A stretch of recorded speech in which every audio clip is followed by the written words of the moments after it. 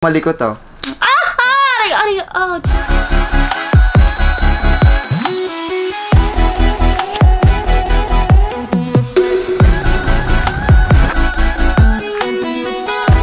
So good morning sa inyo mga ninong. So kakagising ko lang. So wala pa akong kain. Alas 12 na yata ng tanghali. So aalis kami ni Rachel ngayon. Pupunta kami sa Don Quixote. Pero bago ang lahat, bubutasan ko muna siya. Pero bago ko siya butasan, gusto ko lang i-share sa inyo kung ano yung mga nangyari sa amin ng, at the past. Baka sabihin nyo kasi hindi kami umaalis. Maalis naman kami dun sa mga walang tao. Pero ito, panoorin nyo muna kung saan kami pumunta last time. Peace!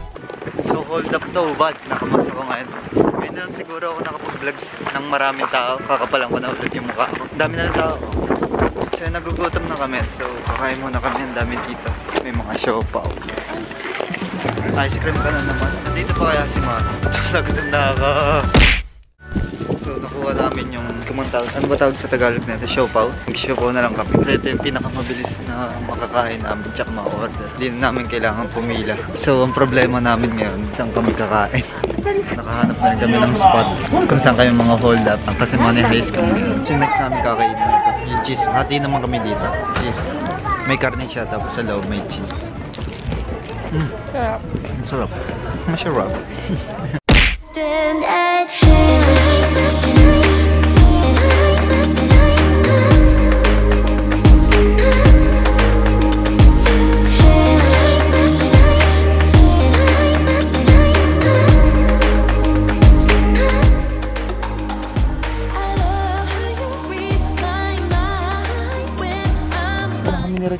Kila Papa nagdilim na rin.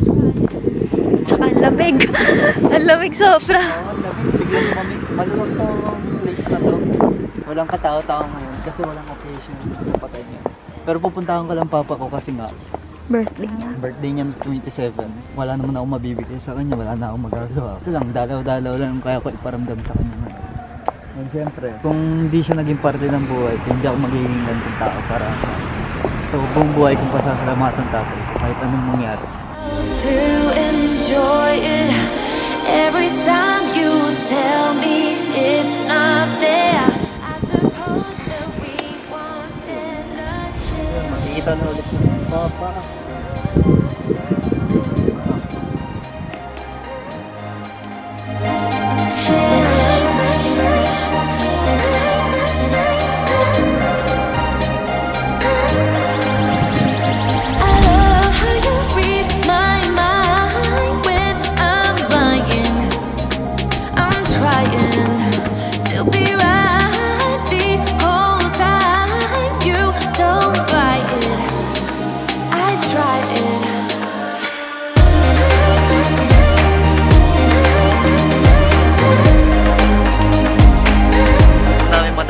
Papa.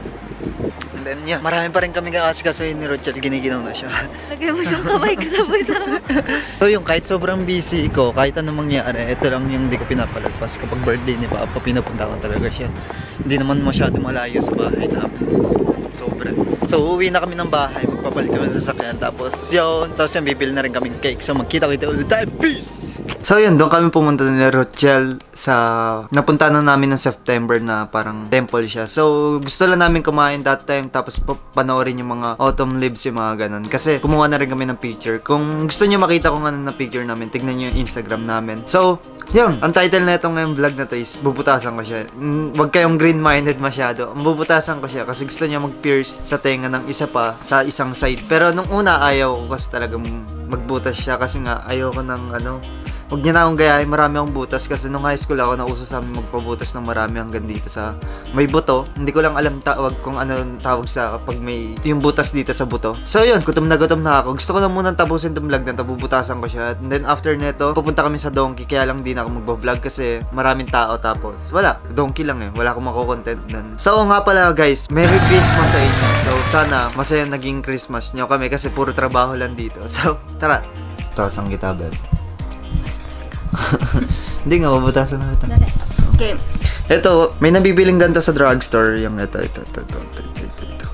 May nabibili dito sa drugstore. May hikaw na siya. As in, hindi ko lang alam kung totoong hikaw siya na silver. Pero hindi siya nakaka-irritate ng tenga. Kasi na-try ko na to. once nung when I was 16 years old siguro. So yun, maganda naman siya. Ito yung ginagamit na pambutas sa tenga dito. So parang ano ba tawag dito? Baril? Parang sa tingin ko baril siya eh.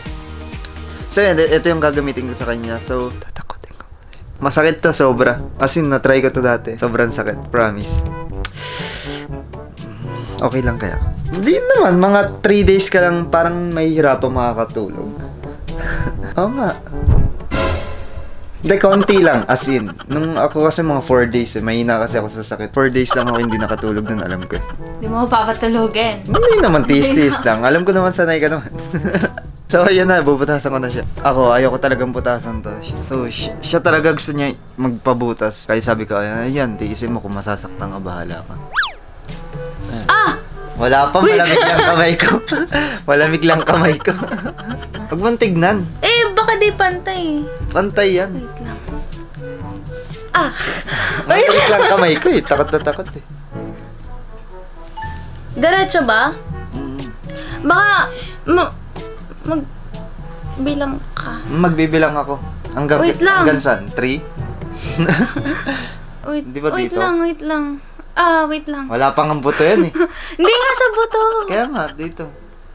Wait lang. Ah, ah, ah, Huwag ka malikot yung ano kasi. Ah, ah, wait lang, wait lang. Ah, Wala pa, wala pa. ah, wait lang. Wala pa nga. Parang baliw. Ah. Wait lang, wala, inawa. Wait lang, magbibilang ako. Oh, mas. Magbibilang ako, wait lang. Mas masakit pa yung pingot ng lola mo eh. Wait lang. Ano magsasabi akong go? Paano go? Eh, hindi ko pa naman Wait, ipaput. eh, wait lang, Oh, hinanda sige, ako sa... bala ka kapag hindi naayos yung butas. mo. Wait lang. Wait lang, Beb. Wait lang. Ninig na rin ko yan.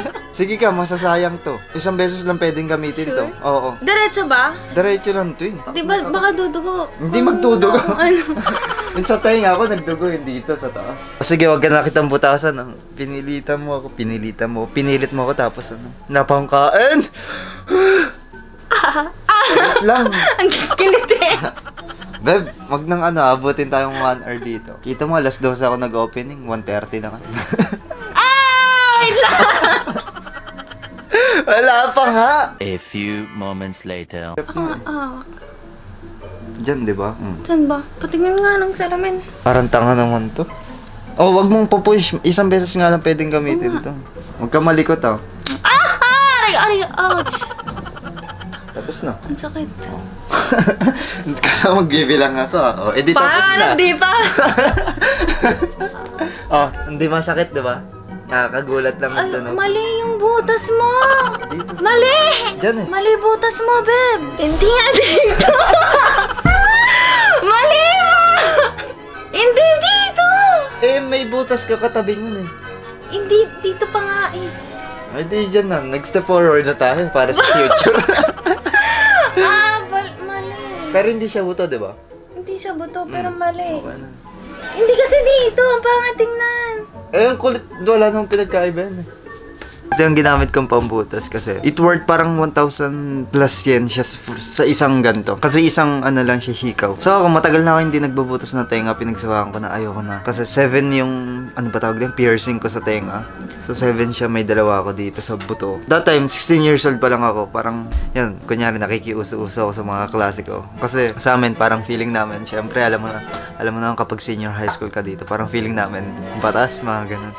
So, yun, kaya ako nagbutas when I was 17 years old, mga ganun. Nasa senior high school ako. Pero, nung nag-start ako magtrabaho, hindi na ako masyado nagpi-piercing. Pero it depends para sa occasion, parang ganun. May time na susuotin mo yung damit at parang feeling ko mas gusto ko mag-piercing na marami. Pero, I'm not a rocker. so, yun nga. Ngayon, mga isa, dalawang piercing na lang sinusuot ko. Or minsan, ito lang, isa lang sinusuot ko kapag aalis ako. Depende talaga, it depende sa occasion. Pero kapag nagtatrabaho ako, never ako nag-pierce. Kasi ayoko. Parang gusto ko nga i-try eh. If, kahit isang beses lang yun mag-pierce ako sa trabaho. Pero, delikado kasi. Pero okay na rin. So, yun. Aalis na kami ni Rochelle ngayon. So, medyo nagkamali yata yung pagbutas ko. Medyo mataas. Mali Pero, pero okay lang naman. Pero, yun na nga. Pupunta na kami sa Don Quixote. Dito ko na lang tatapusin tong vlog na to. Nagugutom na rin ako. So, magkita-kita ulit tayo next time. And peace!